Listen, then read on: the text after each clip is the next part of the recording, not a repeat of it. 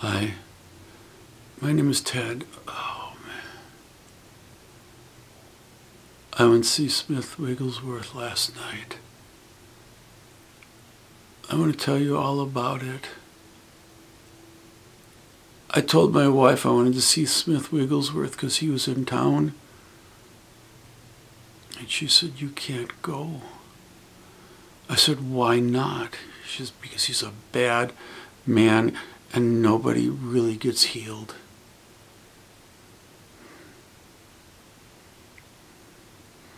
I didn't want to start a fight, so I said, Well, then I'm going to go to Johnny's and, and we're going to have a prayer meeting together. And she said, Okay.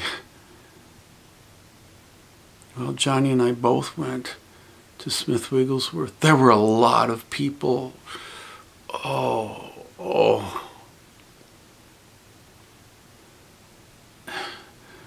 Everybody wanted to be healed, but I didn't see anybody who was healed. But they were all going to be healed. I knew it. I believed that.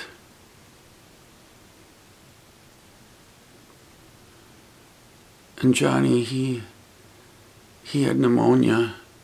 He was coughing and choking all over, and and people were people would move away from both of us because he was coughing so much.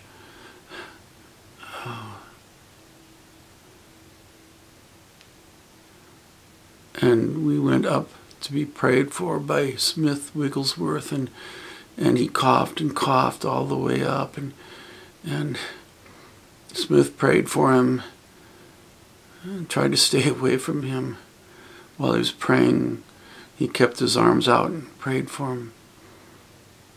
And Johnny came back and he wasn't healed, so he went back again in line. And Smith told him he got it the first time and go away.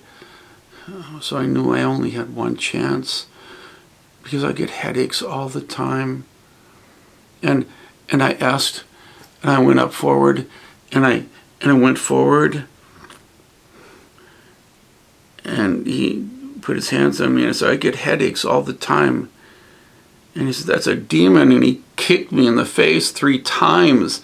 And I lost two teeth. And, and my head hurts so much right now, more than ever before.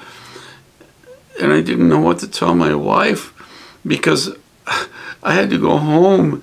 And I didn't want to tell her she was right about Smith Wigglesworth.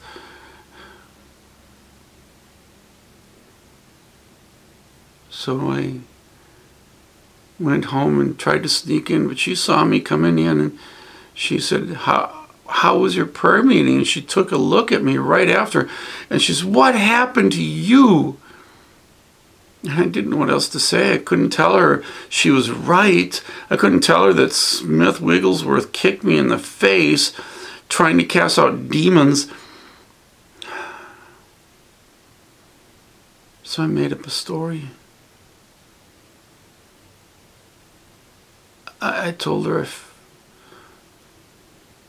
Johnny and me went to a bar and I started a fight.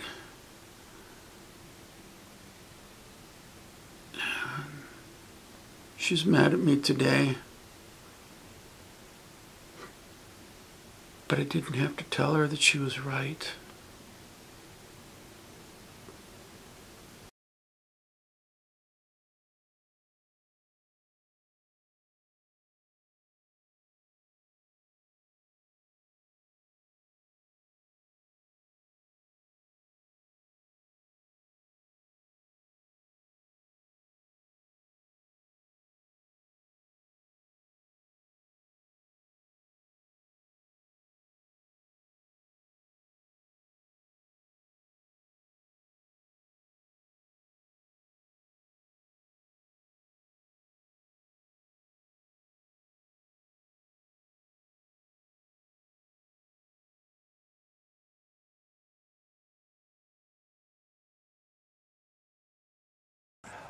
Some parents had a two month old baby dying in the hospital.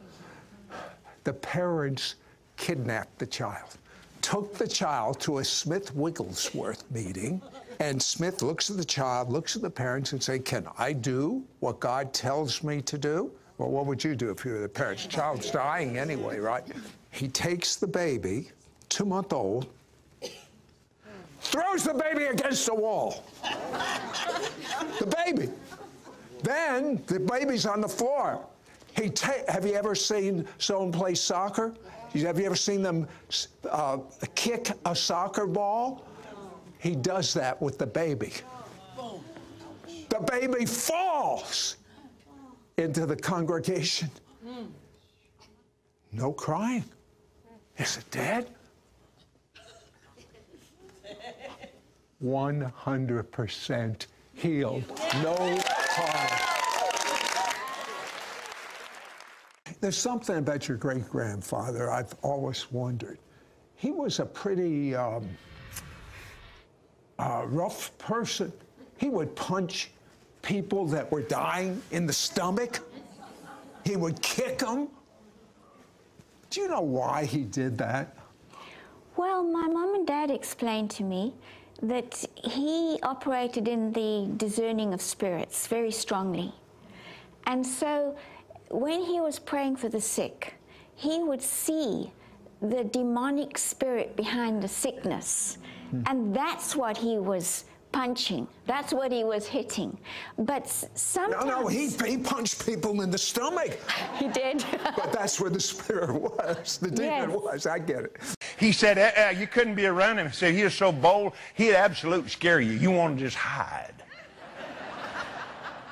Somebody's kinfolks died, and the somebody was part of his church but the guy that died was not. But he said, out of respect, they wanted him as their pastor to, you know, come over and and shake everybody's hand or whatever you're going to do. And and that and it wasn't it wasn't at the funeral that they had placed the body. Took they took the body home to the to this person's home, and it had been set uh, like you know like someone in state and they, he was inside this little this little dining type of a separated area there, and they had two glass French doors, and the doors were closed, and the coffin that the guy in it is in there behind those glass doors, and they're closed. Well, Mr. Wigglesworth went along. He don't know any of these people. But this friend of mine sure did. He's pastor of this church. And he said they walked in there, and Mr. Wigglesworth didn't say anything to anybody. He just walked in the door and he looked around and just walked through that glass doors and shut them behind him, but everybody in there could see him. And dear Lord, Mr. Wigglesworth would shout, you, you could hear him for blocks. He shouted hallelujah on the foredeck of the Queen Mary one time, and everybody, you know, doing their singing and their, you know, all their stuff, and everybody stopped to see what it was. The anointing come on that man, you could hear him for blocks. And he just walked in there and walked up to that coffin and pulled that stiff out of there. pulled that dead man out of that coffin. And Brother Charles told me, he said, Oh, I'm telling you right. He said, I never wanted to run so bad in all my life. And he said, What am I going to do? I can't get out of there. He said, I, I, I was speechless and said he, he pulled him out of that box and stood him up in the corner. stood him up there and backed off two or three steps and said, In the name of Jesus, walk!